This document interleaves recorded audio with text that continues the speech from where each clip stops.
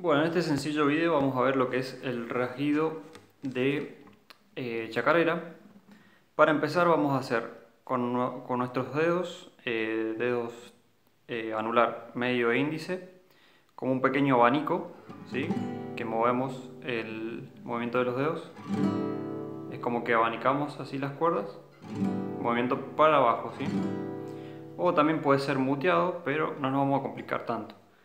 Vamos entonces, el primer movimiento va a ser para abajo, con los dedos, en forma de abanico. Si no les sale de abanico, hagan los tres dedos juntos, no se compliquen, después perfeccionan la técnica. El segundo movimiento que vamos a hacer va a ser con pulgar para arriba.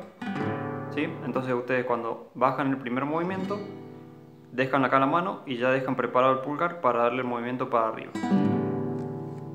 Tercer movimiento que hacemos es eh, un muteado, que el muteado consiste en eh, apagar el sonido con la, con la palma de la cuerda y al mismo tiempo eh, hacer el abanico con los dedos. Sería algo así. ¿Sí? Pero no, no, se detengan en eso. Háganlo así si quieren con la mano cerrada, golpeando, eh, apoyando sobre las cuerdas, ¿sí? para que se escuche ese apagado, ese sonido. y después sí, ya cuando lo salga bien el rasguido, perfeccionen esa, esa, técnica, pero no le den tanta importancia, ¿sí?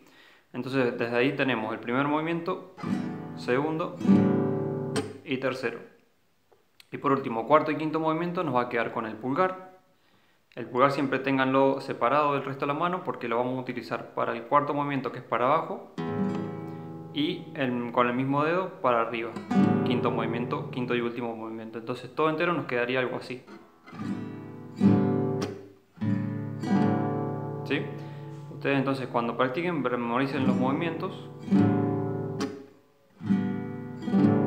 Una vez que ya lo tienen memorizado, le van dando de a poco velocidad. Y le van dando el ritmo.